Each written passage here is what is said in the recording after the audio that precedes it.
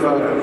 Um, and then after that, you're free to roam around, visit the shops, uh, buy some coffee, buy some souvenirs, and we will start uh, congregating back here at 1045